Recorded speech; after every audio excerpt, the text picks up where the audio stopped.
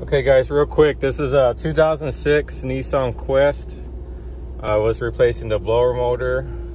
Um, labor time calls for like nine to 10 hours. I think it varies on the years because some you have to pull the dash out.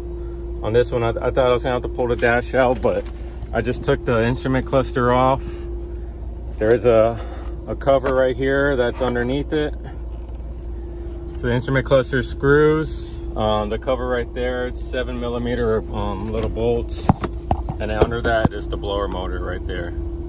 Um, I think you may have to use a 5.5 socket as well, as well as a 25 Torx. And if you're wondering where the blower motor resistor is at, it's, it's right there with the four prong connector.